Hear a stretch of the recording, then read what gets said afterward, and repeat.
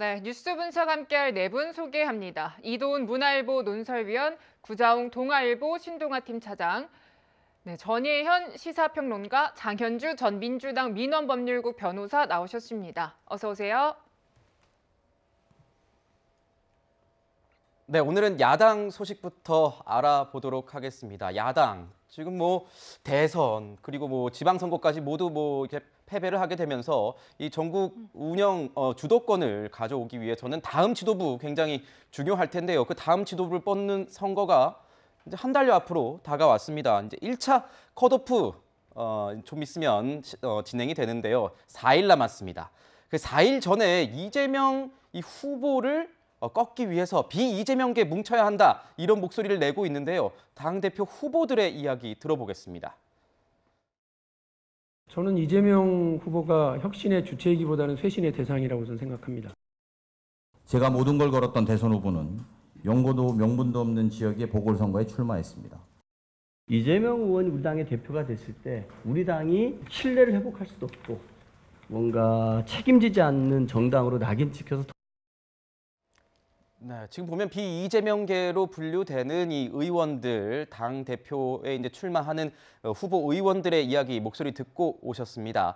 지금 보면은 이재명 후보가 그 자리에 어울리지 않는다, 당 대표로서의 자격이 없다 이렇게 다 같이 얘기는 하고 있는데 이 비이재명계 대항마가 누가 될지에 따라서 흥행 여부도 달라지지 않겠습니까? 또 뭐 이렇게 전당대 분위기가 아마 갈라질 것 같은데 전혜연 평론가님께서 보시기에는 지금 4일 남았는데 비이재명계가 뭉칠 수 있는 가능성 뭐 있다고 보십니까? 비이재명계가 무실 가능성 없다고 봅니다. 사실은 단일화가 되는 것도 중요한데 단일화가 효과를 발휘해야 되잖아요. 네. 그런데 이재명 후보 당선되지 않도록 다 뭉친다라는 게 국민적으로 별로 관심을 끌지 못하는 상황이고요. 만약에 지금 이재명 후보를 제외한 다른 후보들 중에 누가 단일화가 되면 이재명을 꺾을 것이다 이런 가능성이 굉장히 크면 단일화 자체가 굉장히 관심을 모을 텐데 그러지 음. 못한 상황입니다. 그리고 또 하나 굉장히 좀 아쉬운 부분이 있는데 전반적으로 민주당의 정당대회는 현재까지는 흥행을 못하고 있는 것으로 보여요. 네. 네. 그 이유가 뭐냐면 대선에서도 패배하고 지방선거에서도 패배했는데 뭔가 희망을 주고 변화를 줄 수 있는 아젠다를 끌어올리지 못하고 오히려 반 이재명 프레임에 갇힌 것이 아닌가 그런 점은 굉장히 아쉬운 점이고요. 사실은 그렇다면 누군가 젊은 세대가 나서서 판을 흔들어 줘야 되는데 그러지 못한 상황입니다. 네. 좀 비교를 해보면 네. 작년에 6월 국민의힘 같은 경우는 이준석이라는 새로운 인물이 등장하면서 네. 30대 젊은 신예의 돌풍을 일으켰는데 민주당은 안타깝게도 이른바 97세대라든가 이동학 전 최고위원이 아직까지는 큰 돌풍을 일으키지 못합니다. 그래서 이런 변수를 봤을 때 일단 단일화 가능성은 적고 민주당이 흥행을 하기 위해서는 예비 경선까지는 그렇다 쳐도 그 이후에는 굉장히 좀 고- 깊은 고민이 필요한 시점이라고 봅니다. 네. 네, 지금 이 컷오프에서 어, 후보 세명이 추려질 텐데요. 그 과정에서 반영되는 거는 중앙위원 70%고요. 이제 여론이 30%가 반영되는 그런 구조입니다. 그러니까 당심도 중요하고 민심도 중요한 거예요, 변호사님. 워낙 두 가지가 반영되다 보니까 예측 불허다라고 하는데 변호사님이 보는 컷오프 전망은 어떻게 되십니까? 사실 제가 또 당에서 전준위원으로 활동하고 네, 있기 그렇죠. 때문에 지금 네. 누구라고 예측하기는 좀 알 수도 없고요. 예. 말씀드리기 좀 곤란한 상황이긴 합니다. 네. 다만 중앙위원 70, 그다음에 국민 여론 30인데요. 중앙위원이라는 건 말 그대로 이제 대의원의 대의원 같은 네. 존재입니다. 그만큼 당 내부에서 조직력이 있는 분들이 유리할 수 있는 표인데요. 그렇다 하더라도 그동안 우리가 당에서 그동안 이제 중앙위원 100%로만 컷오프를 진행하다가 지금은 이제 국민 여론 30%가 들어왔기 때문에 이 그렇죠. 부분도 분명한 변수가 될 것 같습니다. 단순히 조직력뿐만이 아니라 국민적인 인지도라든지 대중성이 있는 후보들도 훨씬 유리한 판이 되었기 때문에요. 그런 부분에서 지금 많은 분들이 또 자신이 될 것이다 라고 이제 예측하시는 분들도 계십니다. 네. 물론 지금 아무래도 1강, 1강 체제이기 때문에 이재명 후보 같은 경우에는 이제 컷오프를 무난히 통과할 것이라는 것이 대부분의 예측인 것이고 2위와 3위가 누가 될 것인지는 지금 막판까지도 계속해서 예측이 갈리고 있는데요. 결국엔 뚜껑을 열어봐야겠지만 제가 생각했을 땐 굉장히 근소한 차이가 아닐까라는 생각이 듭니다. 네. 네. 그러니까 이재명 후보 외에는 나머지 후보들은 이 근소한 차이로 어, 등락이 결정될 것 같다 이렇게 분석을 해주셨습니다. 중앙위원 표가 워낙 또 퍼센테이지가 있다 보니까 어, 이게 지방을 돌면서 후보들은 일대일로이 중앙위원들을 만나서 표심을 호소하는 어, 그런 모습이다. 이런 언론 보도들도 나오고 있습니다. 자, 이런 가운데요.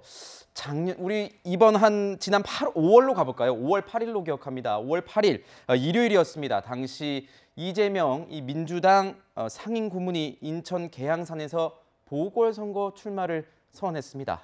보시죠. 개딸들과 개아들들, 개양 구민, 국민이 요구하니까 우리 이재명 후보님 이 자리에 쓰셨습니다. 이럴 줄 알았으면 고민 좀 덜 할 걸 그랬습니다. 저의 정치적 안위를 고려해서 지방선거와 거리를 두라는 조언이 많았습니다. 저 역시도 조기 복귀에 부정적이었던 것 사실입니다. 그러나 당이 처한 어려움과 지금 이 위태로운 지방선거 상황을 도저히 외면할 수 없었습니다. 네, 지금 이 전당대회 예비 경선 이 기간 가운데 또다시 논란이 된 부분이 이 내용입니다. 이 선언, 이 출마 선언 내용을 왜 가져왔냐면요. 박지현 전 비상대책위원장의 폭로성 글 때문입니다. 본인이 이 SNS를 통해서 어, 아, 인터뷰를 통해서 이제 말을 한 게 있는데 이재명 의원이 본인을 그러니까 인천 계양을로 이렇게 콜해달라 이게 뭐 이제 출마할 수 있게 해달라 어, 공천을 달라 이런 식으로 이제 진짜 전화를 해서 압박을 했다. 뭐 이런 거를 이제 어, 밝힌 거죠. 공개를 한 것이죠 위원님께 좀 여쭤보고 싶은 게요 왜 하필 이 시점에 이런 민감한 내용을 폭로했을까 이것도 좀 궁금한데요 뭐 박지원 위원장 입장에서는 그 이재명 의원의 어떤 도덕성 문제를 한 번 더 제기하려고 네. 그 했던 것 같습니다. 사실 그 이재명 의원이 아 나는 나가기 싫은데 그 당이 원했기 때문에 나간다 이런 식으로 네, 그렇게 얘기했는데 설명을 했었죠. 실제로 보니까 그게 아니지 않습니까? 그렇다면 우리 이재명 의원의 그 저 부도덕한 면, 아, 위선적인 면 아, 이런 사실이 한 번 더 부각되는 거고 거기에는 이재명 의원은 혼자뿐만 아니라 뭐 비대위나 여러분이 관련돼 있기 때문에 민주당 전체의 아, 도덕성과도 아, 조금 관련이 있다 아, 이런 네. 얘기를 할 수 있고 이번 인터뷰를 통해 가지고 이제 이 얘기가 나온 거지만 사실은 이전에 이제 박지원 비대위원장이 아, 주변의 의원들한테 이미 얘기를 해서 아는 사람들은 다 알고 있었습니다. 아, 근데 조금 더 구체적으로 얘기를 했었는데 네. 수사가 들어오기 때문에 내가 개항을 출마해야 되겠다 아, 이렇게 얘기한 거기 때문에 아, 여- 다시 다시 한번 그 이재명 후보의 신뢰성은 떨어지는 것 같고 이재명 후보가 만약에 그 저기 민주당의 대표가 된다면 아, 민주당의 도덕성 아, 또한 어, 떨어진다 뭐 이렇게 얘기할 수 있겠습니다. 네 그렇군요 저는 이제 상황의 좀 미묘함 때문에 그 진실의 일단이 좀 드러난 것이 아닌가 하는 생각이 듭니다. 만약에 박지원 전 비대위원장이 이번에 전당대회 출마가 성사됐다라면 이 네. 얘기를 과연 했을까요? 그러니까 저는 박지원 전 비대위원장이 자신의 전대를 막은 어떤 지도부, 특히 그 뒤에 있다라고 여겨지는 이재명 의원에 대한 어떤 도덕적 문제를 제기를 했는데 좀 아쉬움이 많이 남는 대목입니다. 아하 자신이 비대위원장을 맡았을 때 아, 기회는 누구에게나 평등해야 된다. 경선 과정은 이 민주적이어야 된다. 그러면서 이재명 의원이라 하더라도 대선 후보를 지낸 사람이라 하더라도 유리한 지역의 전략 공천은 안 된다. 자신이 비대위원장을 제대로 했다라면 박지원도 살고 당도 살아날 네. 수 있는 기회가 있었는데 그때는 압박에 굴복하고 이제 와서 자신의 어떤 출마를 막았다라는 것이 확인되는 시점을 맞춰서 어떤 그 당시 압박했던 이재명 의원에 대해서 저렇게 도덕적 문제를 제기하는 것은 저는 이 젊은 정치인이 패기를 보여야 될 때는 오히려 좀 수그리고 지금은 오히려 좀 침묵해야 될 때 이 과거의 문제를 들춰내서 전체의 문제로 만드는 조금 올바른 태도는 아니지 않나 하는 좀 아쉬움이 남습니다. 박지원 전 위원장부터가 이 논란 책임에서부터 어, 자유롭지 않다 이런 분석을 해주셨군요. 네, 이러한 폭로 이후에 이재명 의원은 어떤 반응을 보일지 굉장히 궁금한데요. 그 모습 저희가 영상으로 준비했습니다. 박지원 위원장이 인터뷰에서 의원님이 직접 개항을 전화해서 공천해달라고 했다라고 말, 말을 했던데 거기에 대해서 혹시 하실 말씀 없으실까요? 대안을 모청했다고 했다는 발언을 했는데 인터뷰에서 그거에 대한 의원님 입장 자 이제 그만하시죠. 네, 고맙습니다.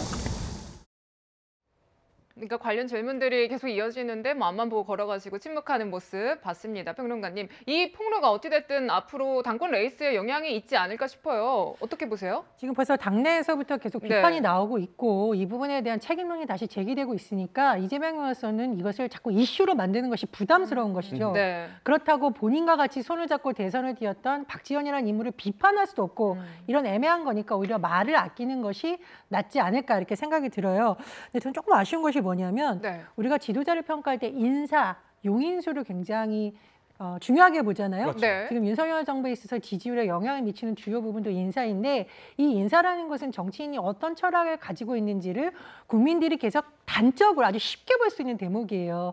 돌아보면 대선 때 이재명 위원장이 이재명 후보가 박지원 후보 어, 그 위원장의 손을 잡고 다니는 모습이 2030 여성들에게도 굉장히 많이 영향을 미쳤는데 네. 이제 와서 이재명 후보가 마치 토사구팽하는 것처럼 모습이 보이면 사실 이건 두고두고 굉장히 부담이 될 수가 있습니다. 그래서 굉장히 말을 아끼는 것으로 보이고요. 제가 아쉽다는 말을 드리는 것은 이 박지원이라는 인물이 사실은 대선 때 영입된 정치 신인이잖아요. 네. 어, 미숙할 수도 있고 또 장점도 있을 텐데 이재명 의원이 조금 더 포괄적으로 또 포용적으로 하는 모습을 좀 사전에 보여서 지금처럼이 아닌 뭔가 앞으로 민- 정치 개혁을 같이 할 젊은 정치인과 함께하는 모습을 보였으면 어땠을까라는 부분에 좀 아쉬움이 남습니다. 네. 변호사님은 어떻게 보십니까? 지금 뭐 전준 위원이시긴 하지만 그래도 이렇게 바라보셨을 때 너무 본인의 이런 어떤 논란에 대해서는 말을 아끼는 모습이 좀 이런 건 좀 책임감 있게 얘기도 하고 의견도 얘기하고 당시에 어땠다 상황 예- 설명도 좀 필요한 거 아니겠습니까? 저는 일단 그 박지원 전 위원장이 지금 시점에서 뭐 이른바 뭐 폭로를 하는 것 자체가 크게 무게감은 없어 보이기는 합니다. 그래서 이것이 이제 공천 과정에서 큰 영향력을 미치지 않을 것이라고 보는 것이요. 그 얘기가 박지원 전 위원장을 통해서 나왔기 때문인 것 같습니다. 그동안 박지원 전 위원장이 보여줬던 행보 자체가 네. 어떻게 보면 우리가 기대하는 청년 정치인, 뭐 여성 정치인의 모습은 좀 아닌 부분들이 많이 있었거든요. 그렇다고 한다면 지금 상황에서 굳이 저런 얘기를 하는 것, 그리고 그 얘기들에 대한 본인은 책임이 없는지에 대해서 봤을 때 사실은 또 유체이탈 합법처럼 볼 수도 있는 부분이 있습니다. 그런 면에서는 사실 이 얘기 자체가 이재명 후보에게 별로 영향을 미칠 것 같지 않고 그렇기 때문에 이재명 의원도 이거에 대해서는 뭐 본격적으로 반론을 하거나 얘기 자체를 하지 않는 것으로 판단이 됩니다. 네. 네, 이렇게 침묵을 이 문제에 대해서는 이어가면서요. 어, 조금 보이고 있는 공식 행보에서는 김대중 전 대통령 묘역 참배 또 봉하마을 갔다 오는 모습들을 공 개했습니다. 그 모습 보시고 분석을 이어가도록 하겠습니다. 저 개인적으로는 정말로 닮고 싶은 에, 근현 세사의 에, 위대한 지도자라는 생각으로 오늘 맨 처음 일정으로 이렇게 찾아뵙게 됐습니다. 노무현 대통령께서 열어준 길, 정치개혁, 정당개혁의 길을 따라서 여기까지 왔습니다. 네, 차장님께 여쭤보겠습니다. 네. 이 행보의 의미 좀 어떻게 분석을 하십니까? 이제 민주당의 전신으로 보면 이제 역사를 보면 과거 이뭐 이렇게 신익희 선생으로부터 쭉 내려옵니다만 최근에 보면 김대중 대통령, 노무현 대통령을 배출한 정당, 물론 뭐 문재인 대통령도 배출을 했습니다만 그러니까 이런 두 전직 대통령에 대한 어떤 지지층이 가장 두터운 정당이라는 것을 이재명 후보가 너무 이제 잘 알고 있는 거죠. 그러니까 자신이 당 대표가 되기 위해서는 이 기존 당원들 기존 중앙위원들 이런 분들의 어떤 지지세를 업어야만 당 대표가 될 수 있다. 이걸 알고 있기 때문에 김대중 정신, 이 노무현 정신을 좀 언급을 하고 있고 그런 묘소에 직접 참배하면서 자신의 어떤 이 당선 가능성을 높이기 위한 행보가 아닐까 저는 네. 그렇게 보여집니다. 그런데 위원님 지금 보면요. 그 당 대표 이제 후보로 나오는 의원들이 뭐 다 저희 비슷하게 문재인 대통령 얘기는 하지 않고 바로 전임 대통령이고 지지율도 퇴임할 때도 나쁘지 않았다 이런 평가를 받고 있는데 문재인 대통령 얘기 전 대통령 얘기는 하지 않고 노, 노무현 전 대통령이라거나 김대중 전 대통령 소위 그 마케팅을 하고 있다 이런 분석들 나오고 있거든요. 왜 그런 겁니까? 뭐 정치적 본능이 작동한 거 아닐까요? 어떤 본능? 아, 김대중 대통령 하면 우리가 그 남북 협력, 그다음에 이제 IT 산업 육성, 아, 그리고 외환 위기 극복 아, 이런 게 떠오르고 어, 노무현 대통령 하면은 뭐 지역 화합, 그다음에 특거름 사회 일관된 메시지가 있지 않습니까? 아, 문재인 대통령 하면 뭐가 떠오르죠? 소득 주도 성장, 탈원전, 그다음에 그 북한 중심 외교 오히려 이거는 국익을 자해한 거 아니야? 아, 이런 비판을 굉장히 많이 받죠. 아, 그렇기 때문에 그 저기 아, 문재인 대통령보다는 아, 노무현, 그 김대중 두 분에 대해서 뭐 많은 후보들의 마음이 먼저 가는 거 아닌가 아, 이런 생각이 들고 아까 이제 그 어, 박지원 저 전 비대위원장이 아, 이 문제 공천 문제를 꺼내든 거는 이제 도덕성 측면도 있지만 네. 그거랑 같이 가는 사법적 리스크 문제랑 같이 제기했다고 보면 됩니다. 지금 여섯 개 분야에서 아, 그 지금 수사를 받고 있지 않습니까? 민주당 당헌을 보면은 80조에 아, 만약에 그 부정부패 혐의로 기소가 되면은 당직이 정지되도록 돼 있습니다. 무슨 얘기냐면은 아, 8월 28일 날 이재명 후보가 당 대표가 된다 하더라도 아, 검찰에 기소가 되면은 당직이 정지되게 돼 있어요. 그렇다면 이거는 전당대회 전이 아니라 이후에 굉장히 큰 아, 사법적 리스크가 아, 나타나는 겁니다. 이러니까 당내에서는 아예 그뭐 문제야 당원 개정하면 되지 이런 얘기까지 나오는데 그게 해법이 될까요? 지난 4.7 서울 보- 부산시장 재보궐선거에서 후보를 내면 안 되는데 당원을 개헌해가지고 아, 저 바꿔가지고 후보 냈다 참패하면서 지금 네. 결국 정권까지 잃지 않았습니까? 아, 우리 민주당에서 좀 더 이 사법적 리스크에 대한 부분은 아, 좀 더 구조적으로 체계적으로 한번 고민을 해야 될 것 같습니다. 네, 어떤 뭐 검찰 수사의 이 뭐 기소 여부, 특정 어, 후보에 대한 기소 여부는 뭐 아직 결정된 것도 없고 아직 수사 중인 상황으로 알려져 있기 때문에 어, 조금 더 이른 좀 분석이 아닐까 싶기도 하고요. 저는 근데 아까 그 문재인 대통령 얘기 좀 잠깐 해보면 문재인 전 대통령 자체도 지금 당과 좀 거리를 두고 있기 때문에 이 당 대표 후보들과의 만남도 좀 자제하고 있는 것 아니냐 뭐 이런 얘기도 나오던데요. 근데 저는 문재인 정부 하면 떠오르는 게 없다라고 하는데 떠오르는 거 많은데 요. 일단 평창 동계 올림픽 다 뭐 망할 거다. 제가 이제 당시에 담당자였기 때문에 네. 외신 기자들 그렇게 봤지만 성공적으로 했다라는 건 전 세계 언론의 평가였었고 두 번째로 앞으로 좀 더 봐야겠지만 외교도 북한 중심이라고 하시는데 사실은 K9 자주포 수시다라는 거라던가 여러 가지 분야에서 외교의 선을 다변화한 부분 이런 부분도 재평가가 이루어질 거라고 생각을 하고요. 다만 전 정부의 대통령이고 지금 살아서 현실적으로 존재하는 당장 영향력을 미칠 수 있는 가장 강력한 정치인이거든요. 그렇다 보니 주자들이 잘못 이것을 얘기했다가는 오히려 굉장히 비판 여론이 형성될 수 있는 부분이 있고 네. 또 하나는 문재인 전 대통령이 이 당권과 관련된 부분에 개입하기를 원치 않기 때문에 조심스러운 부분이 있다라고 합니다. 사실 양산에 내려갔을 때 난 해방되었다라고 하고 정치인보다는 자연인으로 기억된다라는 식의 메시지가 나온 바 있거든요. 그래서 문재인 전 대통령에게 비판적이라기보다는 어쨌든 대선 지방선거 패배한 후의 미래를 얘기하다 보니 전 정부에 대해서 조심스러운 부분 하나 그리고 문재인 전 대통령이 여기에 관여 하는 것을 원치 않는 부분을 배려한 부분 하나 이런 것도 영향이 있다고 봅니다. 네. 네, 저희가 첫 번째 순서에서는 컷오프 나흘 남긴 민주당 상황 정리해봤고요. 어떤 사람들이 후보군으로 압축될지는 주목해서 지켜봐야겠습니다.